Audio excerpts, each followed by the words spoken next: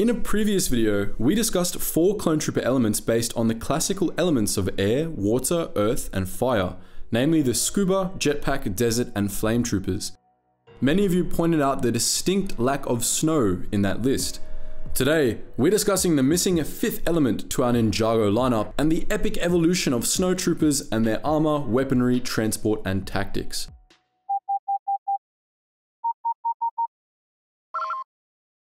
Attention, Sergeant on deck! Snowtroopers was used as a catch-all term for the Republic and Empire troops that specialized in frozen environments. The term Snowtrooper is actually a nickname for Imperial Cold Assault Troopers whose armor was largely based on that of the Republic's own Cold Assault Troopers and the Galactic Marines. Snowtroopers had dedicated heat and life support systems built into their backpacks and specialized helmets with smaller visor openings and polarized lenses to prevent snow blindness caused by UV radiation reflecting off the white landscape. Their armor had fewer plates to allow for greater mobility. Snowtroopers wore snow boots, gloves, and kamas or capes for extra layers of protection. This also allowed the wearer to create a perfect seal between their helmet and armor, preserving further heat. Many planets in the galaxy were completely covered in snow and ice. Even if the whole surface wasn't frozen, many planets had arctic regions, and snowtroopers would be deployed to outposts in these locations. These frozen environments were some of the most unforgiving a soldier could find themselves in. Most frozen worlds were technically deserts, featuring little to no natural cover, almost no natural resources, and extreme temperatures. Wild and merciless blizzards and snowstorms prevented even the most advanced armies from landing their troops close to their objectives.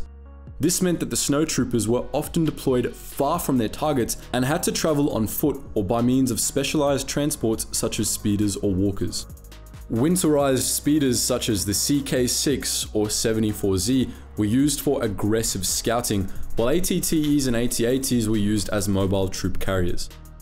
When vehicles were in short supply, snowtroopers could also ride native creatures such as the Mastmots of Toola or the Tauntauns of Hoth.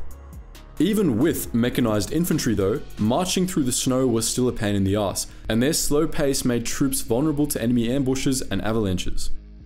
Coupled with low visibility, only the most elite and well-trained troops could succeed against an entrenched enemy on a frozen planet.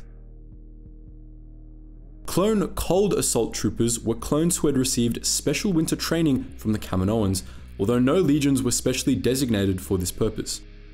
Experienced regular troopers could also adapt to cold assault roles, as evident when the 501st and the 104th donned clone cold assault gear on Orto Plutonia and Khorm, respectively. Clone cold assault armor was specially designed with additional thermal seals and more insulated flaps than standard clone bodysuits. The helmet was more flexible and provided greater neck protection with added armored flaps. The visor was thinner and specifically treated to reduce sun glare and prevent frosting when exposed to moisture. Clone Cold Assault Trooper armor also benefited from enhanced temperature regulating functions and a backpack unit which helped with heating.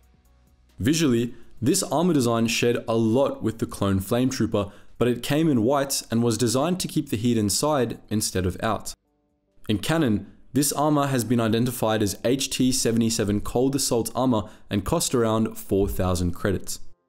One of the earliest operations this armor was used in was when Jedi Master Plo Koon and Commander Wolf led the 104th donned in Cold Assault armor to retake the planet Khorm. We covered this operation, the Battle of Khormai, more extensively in a previous video. One Cold Assault trooper was Commander Mag, who was assigned to Glid Station, a Republic outpost on Orto Plutonia.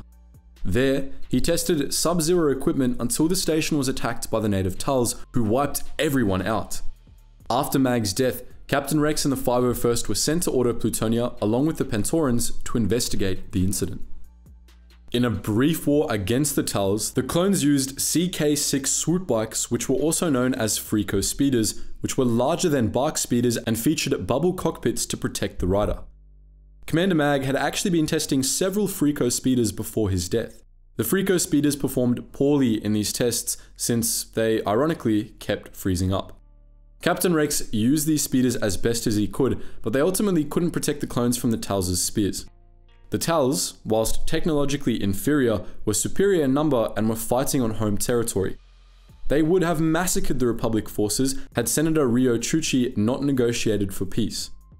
These skirmishes taught the Republic difficult lessons about winter combat, and they continued to improve their armor and tactics as the war went on. Originally, the 21st Nova Corps of the Galactic Marines 4th Sector Army were granted autonomy as a separate branch due to their elite skills and abilities. They made frequent use of Phase 2 Cold Assault gear, which saw several improvements from the original clone Cold Assault armor. Led by Jedi Master Ki-Adi-Mundi and Commander Bacara, the Galactic Marines used upgraded synth mesh armor on their helmets. Synth mesh was like a combination of plastic and steel, flexible yet resilient. It also kept out contaminants such as sand, snow, and ash while protecting from light blaster fire.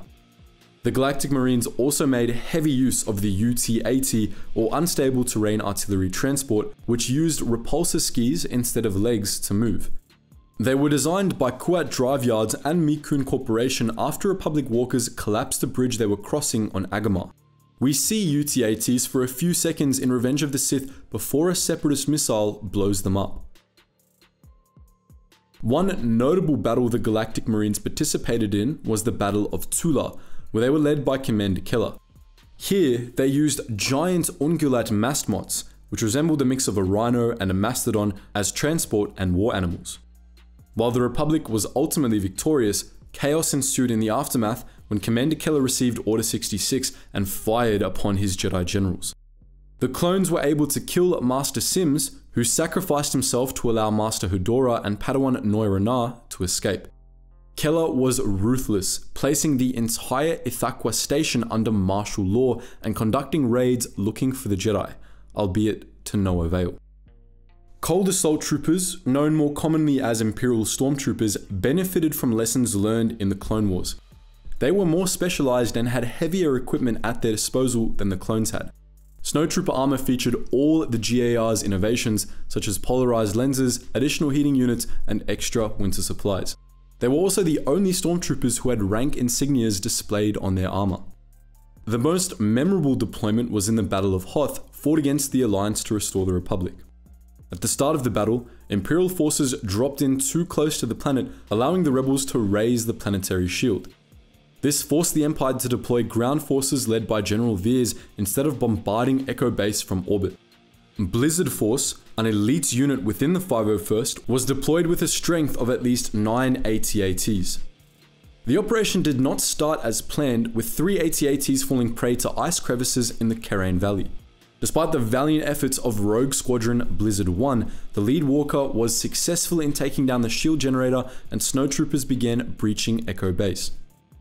There was also a winterized prototype variant of the AT-ST called Blizzard Scout, which was weather sealed, thinner, and more maneuverable. On Hoth, an AT-ST attacked the Echo base's south entrance with a squad of snowtroopers who attempted to disable the base's ion cannon facing strong rebel resistance. While they were initially successful, Corporal Jobin from Echo Station 5-7 took a squad of rebel commandos and temporarily retook the area, firing the ion cannon one last time before the snowtroopers massacred them. So that's our look at the epic evolution of snowtroopers. But what do you think? Which type of snowtrooper do you like best? As always, free to post your thoughts in the comment section below. And as always guys, thank you so much for watching and I hope to see you in the next video.